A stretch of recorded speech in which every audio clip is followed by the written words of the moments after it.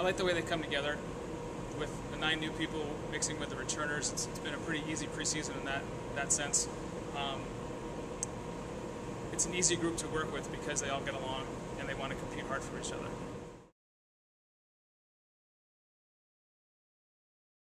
The Atlantic 10 is a great conference. Um, it, it, has a strong RPI for for being what people probably label as a mid-major.